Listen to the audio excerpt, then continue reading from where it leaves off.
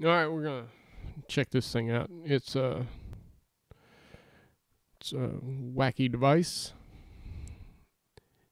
It takes uh, HDMI and turns it into really old stuff.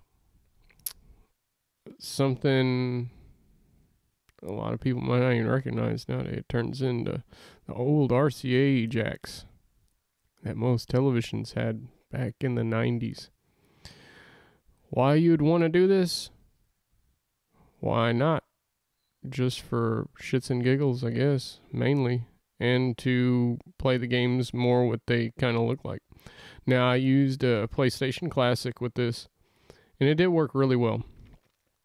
And what you have to do is uh, the way it plays on a standard, not a standard television, a modern television, is the sc- it takes full advantage of the screen, but then the gameplay screen is scaled down. So on this, if you just go ahead and plug it up, plug it into your TV, what happens is it squishes that down even more. So what you have to do is you have to scale your width all the way to the sides of the screen because then this thing is going to squish it back down to fit on a standard television. And then it looks perfectly fine. So you have to stretch it and then it squishes it back down. Uh, works really well. Uh, I have no problems with it. It really, I really wanted to do a comparison where I run the Super Nintendo then on the television and do a real comparison of it. But that's just too many, too many wires, too many things going on. So I'm just going to show how well this does work. Maybe one, one day when I have a huge area to actually do things and things already hooked up, maybe I'll do something like that. But for now, this is the Amazon Basics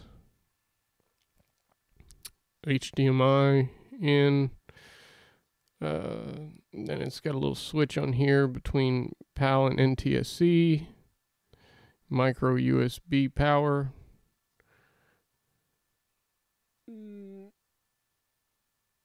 Camera doesn't autofocus that well. I think it's because it's a lighter color. The weight is pretty good. I mean, it doesn't feel as cheap as some of them, but mm, you know, you could just put lead weights in there to make it heavier, really. So it could be just as cheap. But I'm gonna say the quality is there, seems to be there. And so, all right, um, show you the. Here's the menu. And we will go to, we'll go hit, well, you go into the main menu um, settings, video. Then you'll go down to scaling. Now, I believe this is what it looks like usually. Now, this is usually off, but uh, on, I don't see it looks better on the laptop than it does on the actual TV, so I just now been running it on because it looks perfect on the TV, but you can put it off. You'll still want to put it on when you go right here and you switch to custom. Now, you'll change this to, oh wow, it's 896. Oh, no, it's height. Uh, right here.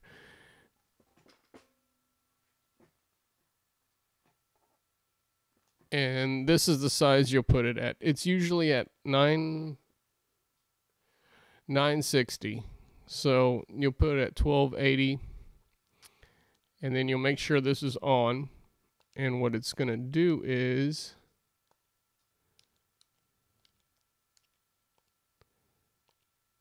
stretch it out.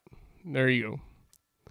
And so then when you use when you run it then to the card or the card or the, the interface, whatever you want to call this thing, converter, it's going to squeeze it back down and it's going to look perfectly fine on the television. So there you go. That's pretty much it in that area.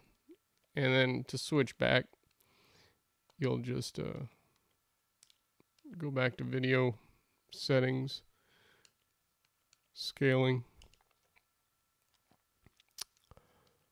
switch it back from custom to core provided. I leave that on, you can turn it off, whatever. Mm, you know, play around. Just if you do anything and you think you're going to save something, you're really going to have something all goofy.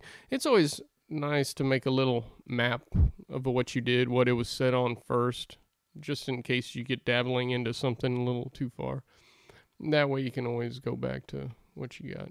All right, and that's pretty much it. And then it's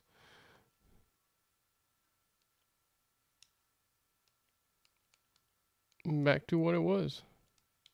Oh, and I don't know what I'm doing here. Quick menu. Oh, hit the wrong one. So there.